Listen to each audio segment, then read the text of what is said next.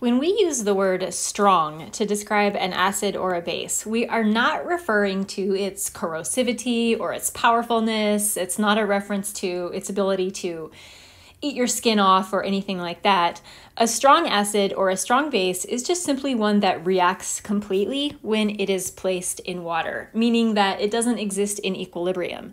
So, for example, here is a strong acid, HBr, and when you put HBr in water, it reacts completely, meaning forward arrow, not in equilibrium.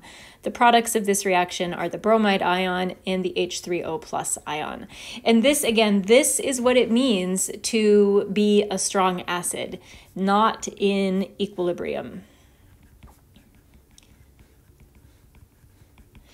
There are six strong acids, or maybe seven, depending on which source you are referring to depending on which textbook you're using. The strong acids are HCl, HBr, HI, HNO3, nitric acid,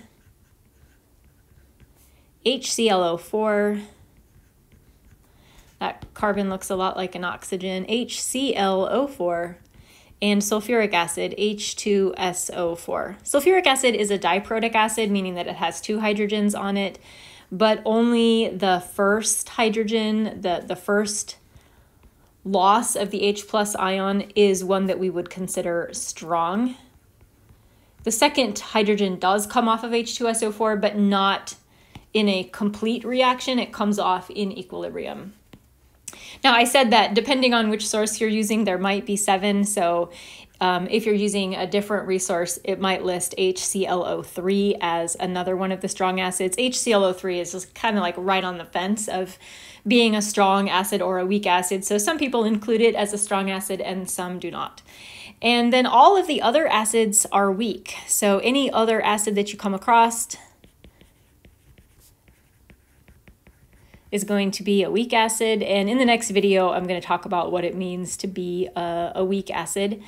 Um, here is a list of just some of the most common weak acids, hydrofluoric acid, HF, nitrous acid, HNO2, acetic acid, CH3COOH, carbonic, H2CO3,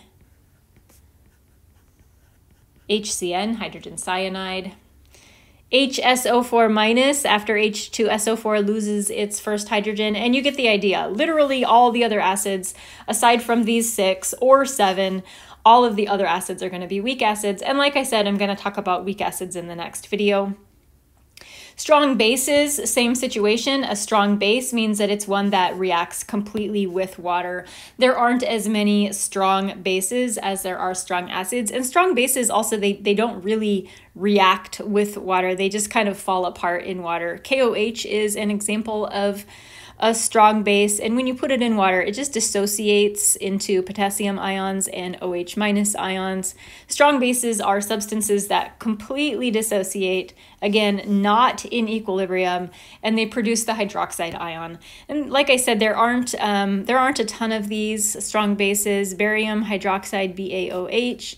This dissociates into the barium ion Ba2 plus and two hydroxide ions because of that um, coefficient down there. Sometimes when you're looking at the reaction of a strong base, sometimes you'll see H2O written underneath the reaction arrow.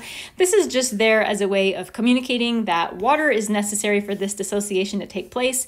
If you just have some solid KOH in a jar, it's not going to spontaneously fall apart. You've got to put it into water for this to happen. Lithium hydroxide is another strong base, LiOH completely dissociates to make lithium ions and hydroxide ions. Uh, and then another, the last um, common one, NaOH.